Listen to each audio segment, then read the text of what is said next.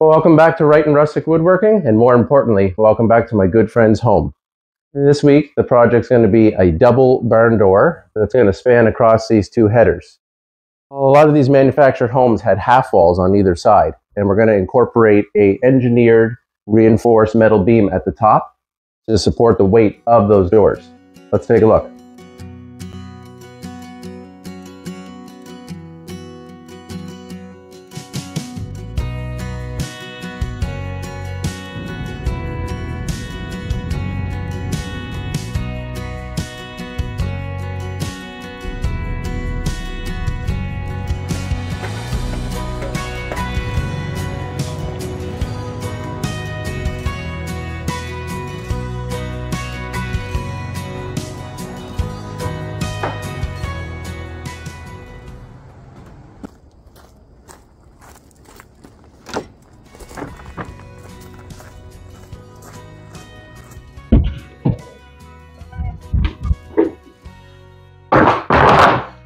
Okay, 24 pieces of lumber, 1 by 6 by 8 feet long SPF. Job only calls for 20 pieces, but having the extra 4 will really prove valuable because I find when I'm in the store, I don't actually get the best look at the edges of these wood until I get home. So whatever we don't need, I can always return. So uh, let's start the milling process and get going.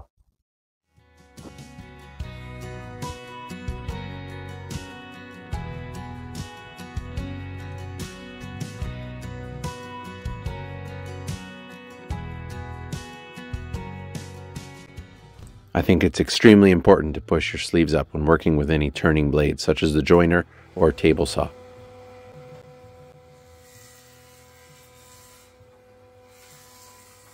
Here I have three piles of wood.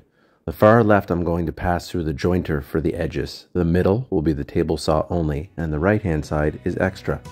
This is to show that you can achieve the same quality with both joiner and just table saw. I think one of the more important things we can do in our shop is to change blades often for the proper application.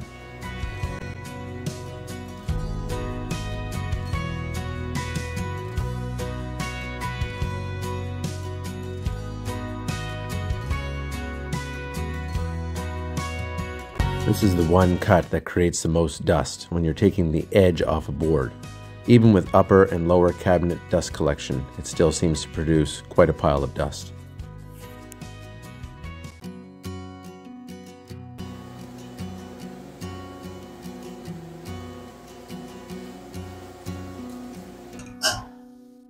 Okay, well, now that I've got both sides cleaned up, either by jointer on this pile or table saw on this pile, now it's time to biscuit joint all the connections, and those aren't for strength. That's a common misconception. Those are actually to align the boards on the door so that they don't move during the glue up stage. So I'll move on to that now.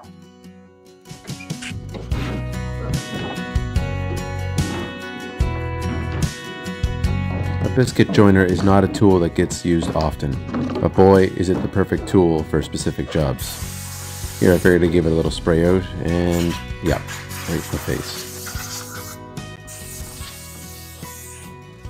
I suppose as the videos roll along, sooner or later you'll all realize that I do like to joke around quite a bit.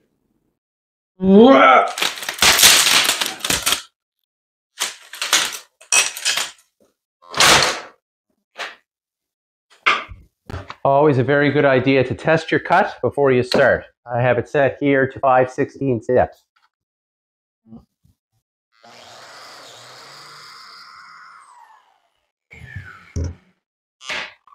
That'll be perfect for what we're looking for.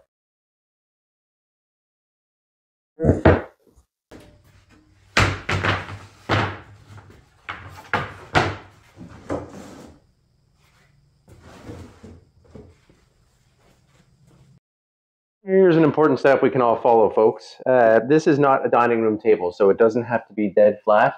But before I dig out all my biscuits, uh, it's important to see how the boards align with one another. You might want to move this board over here or this board over here or flip it. It's not going to matter. Um, at the end, we will do the test to see which door performed better, the one that I did with the jointer or strictly on the table saw. And that's just meant to show that you don't need every tool that's out on the market to get a good finished product.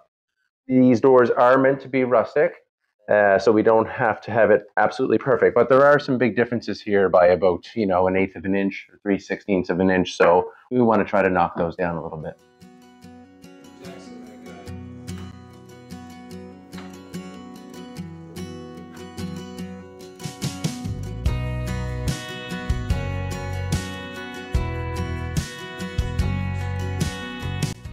For everyone that tuned in for my last project of the rotating cabinet seen here, thank you so much for your support.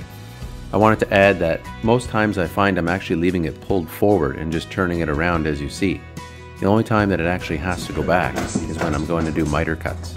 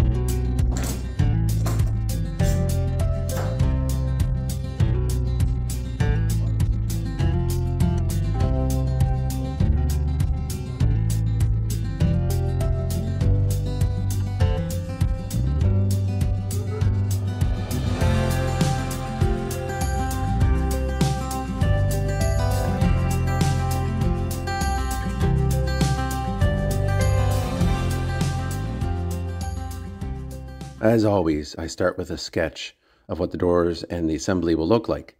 That's the finished product you can see here. But more concerning atop is the engineered heading that I joked about earlier, me being the engineer, which, as we know, is not true, but nonetheless, it took some thought. Here you can see an exploded view, and I'll zoom in so we can take a look. The front black part will be a inch and a half by inch and a half square metal tubing with a 1 8 wall, which will sit atop a 2 by 4 stringer. Well, I have no idea how I'm moving this by myself. Well, that's because you're just getting up now. I've been out here all morning, man. Let's go. I know I had mentioned that uh, an old gift card or credit card is the ultimate glue spreader, but uh, the odd time you do want to get down in trickier spaces and uh, they sell these glue brushes. But this particular one is just a barbecue sauce brush from the dollar store. And uh, as long as you clean it out in some water afterwards, there's no need to spend the money on these big products. If you leave it and you try to rip it off, it will pull off the little tassels. But uh, just clean it out with some water and save yourself some money.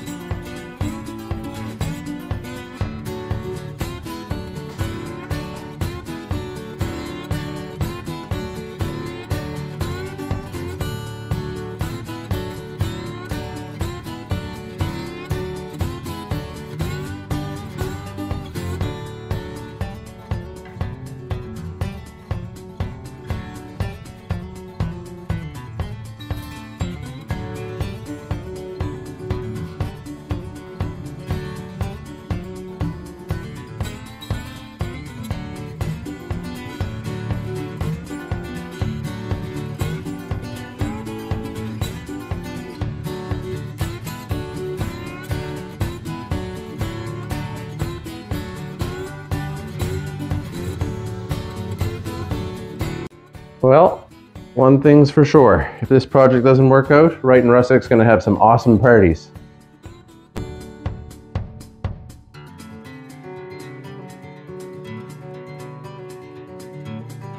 So the doors are all glued up, and today we're actually going to uh, flatten out some of those edges.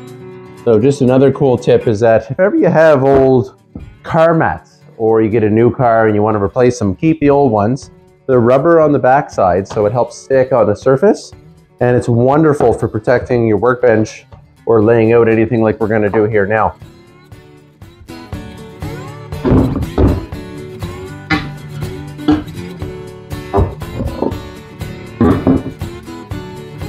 Okay, so it's time to take care of the glue seams on this uh, door panel. Now I've got six different options laid out that we're going to uh, test and see which one works best, beginning from least evasive to most, or maybe more efficient.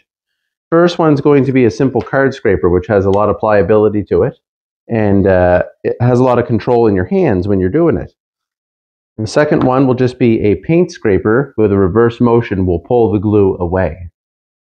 Third is a chisel, and I like to use an old shop chisel. This is something that's not incredibly sharp on the end, but still a little bit sharp. Uh, and if it was really sharp, you might run the risk of driving into this softwood and removing a good sized chunk. So we'll just use a, one that's a little bit dull. The next option is a simple hand plane to run across the full length of the table if we have any high marks. Uh, of course, the orbital palm sander or sander of your choice, this will be required no matter what to sand the entire table when we're done. We're also going to try it on the actual glue lines themselves. Last option will be an electric hand plane. On the lowest setting, we'll do several passes of a glue line and find out which works best.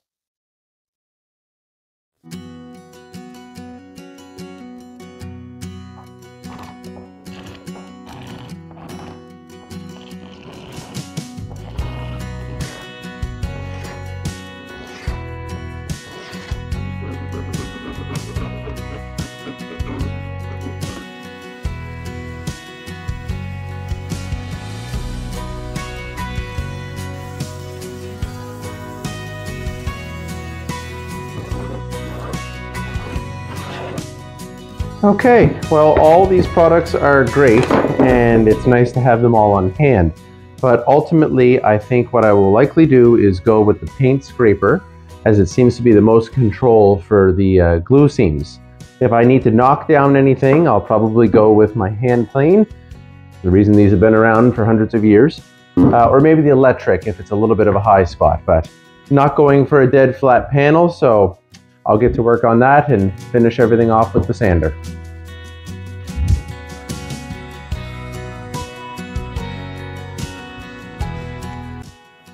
Okay, so now I'm going to put my cross brace board, which also gives us a really nice look of a barn door, uh, onto the panel.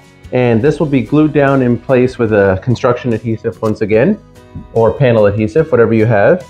And then I'm actually going to countersink screws all along this just to make sure that nothing ever comes out. So uh, let's take a look at that.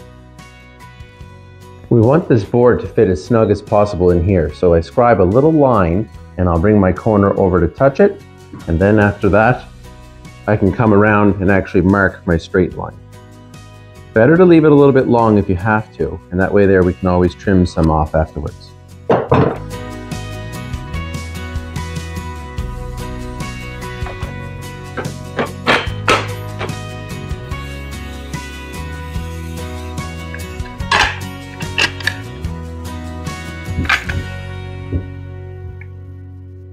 Okay, with the adhesive on, I'm gonna lock this down with some screws, but we're gonna have our plugs in our screws, so we should try to make it at least look good.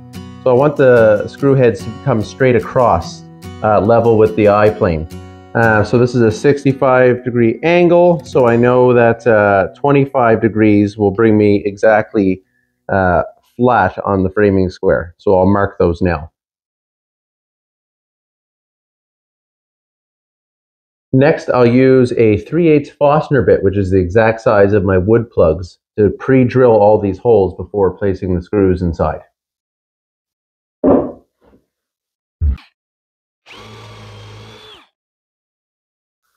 Now I'm going to drive 3 quarter inch number 8 screws through the cross brace board into the back panel.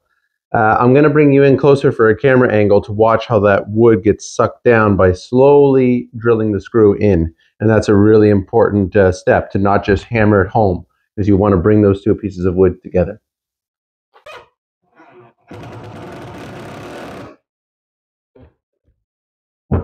Okay, so this panel is almost done. I'll cut off the top overhang as well as the bottom overhang And then I've left the sides half an inch proud because I'm going to trim this whole thing in pine to give it a nice smooth edge to all the cutoffs. I'll complete the second door to match this one, and then uh, we'll get moving on that header. So, see you soon.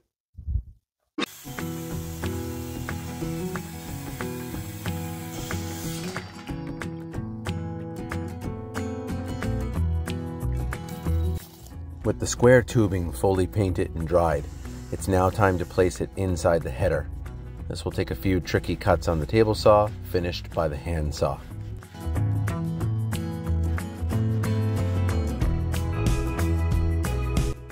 A little bit more construction adhesive will help me connect the two pieces of the header together, essentially locking the piece of square tubing in place. From here, I'll flip the entire header over and affix the square tubing to the bottom wooden plate with a couple of self-tapping screws. Whenever you order online, please make sure to take out all your hardware ahead of your project and have a good look through everything and read the instructions, just to make sure that everything's going to fit exactly the way that you planned and also that everything is included.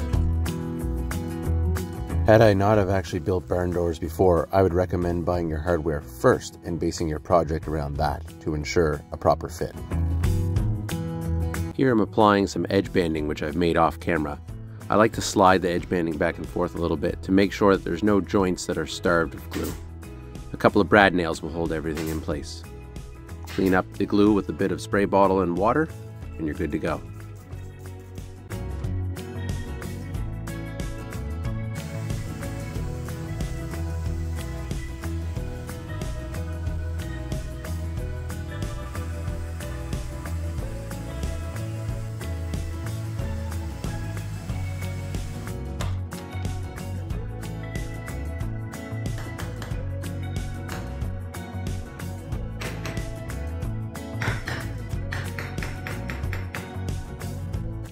Okay, a little break from the manufacturing process and time to install that header that I made to make sure that there's no issues at the customer's home. I think the electrical here will be okay, but it's important to remove anything else that will obstruct the doors when they're opening.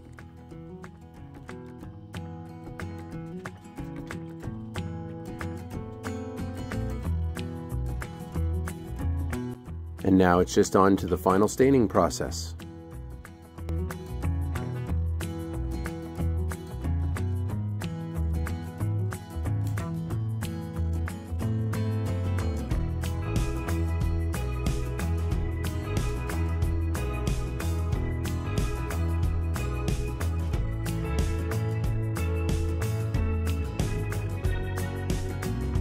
Not actually sure if this helps, but I've been using a small paintbrush to fill knots and cracks beforehand.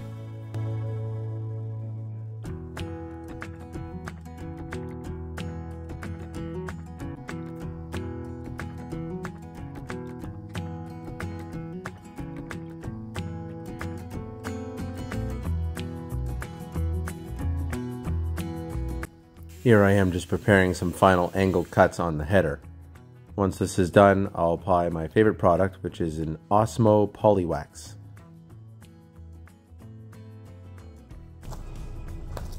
Small but mighty, I'll load up my little trailer and take these doors to their new home at my friend's. Luckily, she doesn't live too far away.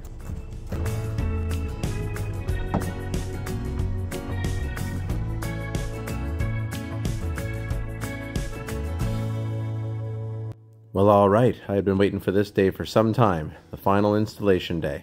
Let's hope it all comes together great.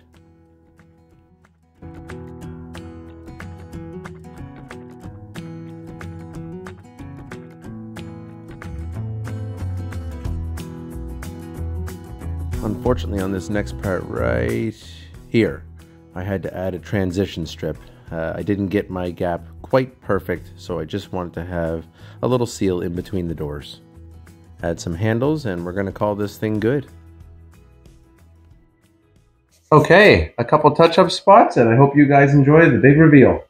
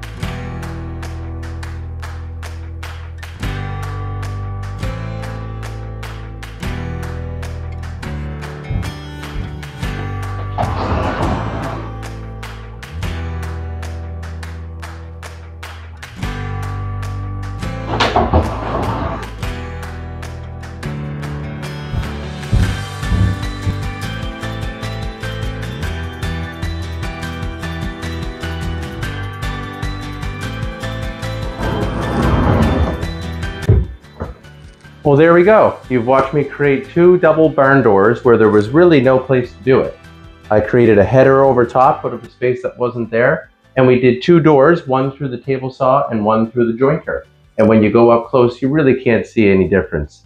My only big takeaway from this project would be if someone was looking for a real premium quality product, then perhaps you may want to use a hardwood. Uh, these are a budget door, so these are soft wood. So the wood may not be entirely a 100% stable. So over time, they may move a little bit, but for the application that we're looking for and what the client's needs were, this fits perfect. I want to thank everybody for joining and uh, follow me along. And just remember, if you really want to do something, just go out and do it.